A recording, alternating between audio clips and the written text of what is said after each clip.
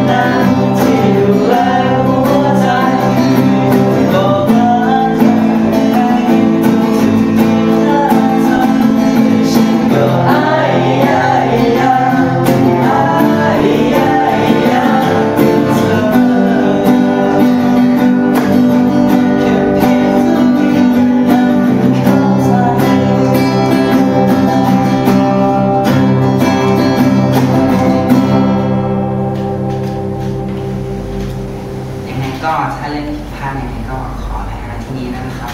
ขอบคุณที่เราฟังจนจบครับ